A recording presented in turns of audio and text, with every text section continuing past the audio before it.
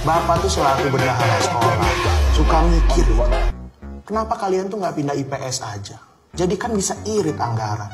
Apalagi kita baru aja ngerekrut guru honorer baru.